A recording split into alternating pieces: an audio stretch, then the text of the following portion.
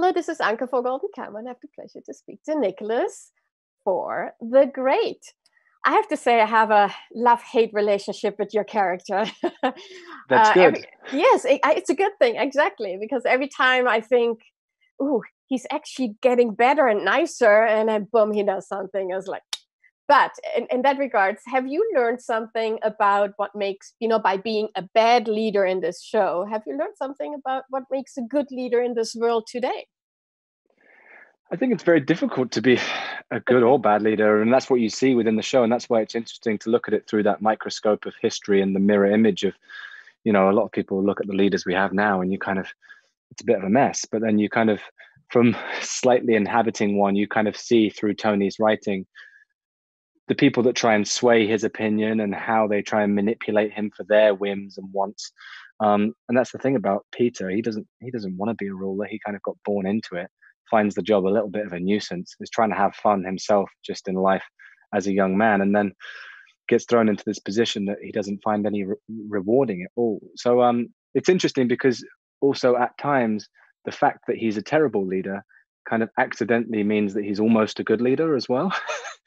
um, so it's kind of a little bit of tit for tat in that sense, and I think you even see that from um, um, Catherine's point of view. Elle Fanning's character's uh, uh, viewpoint at times because she, you know, she kind of gets everything she wants halfway through the season almost, where it looks like she's going to get, you know, get power, become the ruler, and then she realizes that she's not ready and she's not prepared for it, and it's kind of a lot more than she had anticipated.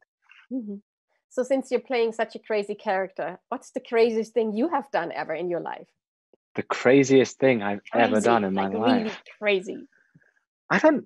Uh, I mean, they kind of feel crazy at the time, I suppose. In hindsight, I mean, I did a I did a skydive dressed in a in a tiger print onesie in Africa. That felt that felt kind of wild at the time.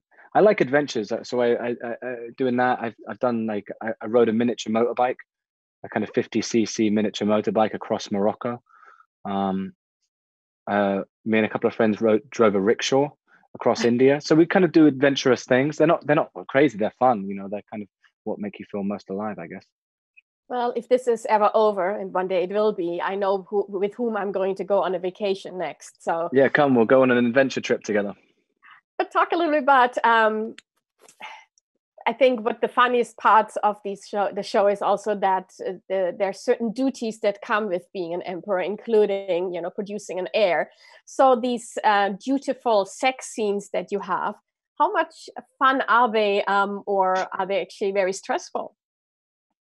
Uh, the dutiful sex scenes, uh, all the sex scenes are very funny because they kind of work. They're working on two levels. There's obviously the physical of what's happening in that moment, but for Peter and Catherine particularly, they're kind of most of the time in completely different headspaces. He's he's worried about getting stung by a bee that's in the room, or there's other people in the room making sure they conceive because it's such a big business that they produce an heir. Um, so they're actually really funny scenes to write, particularly with that witty dialogue that that Tony comes up with. So it's um the most difficult thing is kind of multitasking, I would say, keeping the comedy flowing whilst managing to keep the rhythm going. Oh, I rhymed.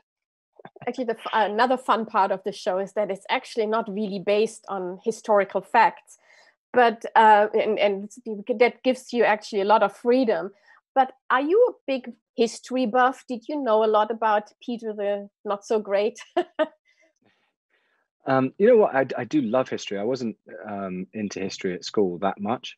Um, but now the more the, the more historical pieces i've performed in I, I, I really love delving into the history of the times and the characters and the people that existed and, and kind of using it um, to get into a character. But at the same time, with this, I knew that from working on the favorite that Tony's writing doesn't necessarily want or need you to do that, and that was the same thing that Yorgos kind of never prepared us to to really try and be ghosts of these real people. It's kind of more, you know, we'll draw inspiration from these historical facts that are occasionally sometimes true, but we'll create our own story from them. So um, to be honest with you, research wise for this, I, I didn't really do much in terms of no, learning about the real Peter. I took more from on the page in the script.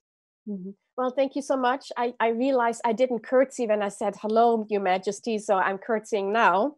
Thank you. Finally. Thank you so much and uh, be well. Hey, very good to see you. You too. Take care. See you. Russia must be saved, and I with it. I don't want to kill you. You're not a bad person. I could kill you. You are a bad person. You're funny. Treason is what we're discussing here. It's a dangerous game. Do not worry. All is bliss in the court of Catherine Do you mean touche?